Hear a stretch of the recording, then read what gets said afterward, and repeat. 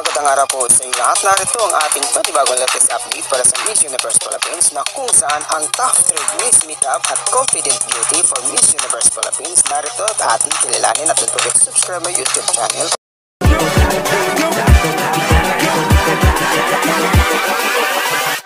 Hold up.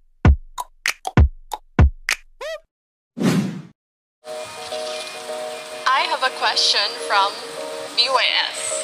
They are asking me what version of yourself have you uncovered using makeup? For me, I uncovered grit and my passion to persevere, the unbreakable me. I have uncovered the version that is sweet. Long time ago, people telling me that, oh, you have so many moles, and I got really insecure having those moles.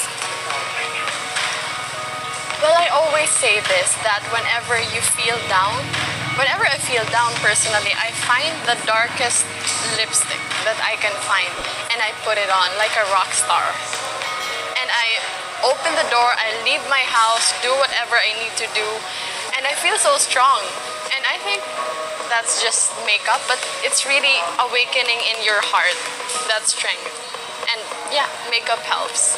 What I love about makeup is that it challenged me. Like seeing this beautiful makeup right here, very colorful, like it makes you creative. And it's fun. It brings the best out of you.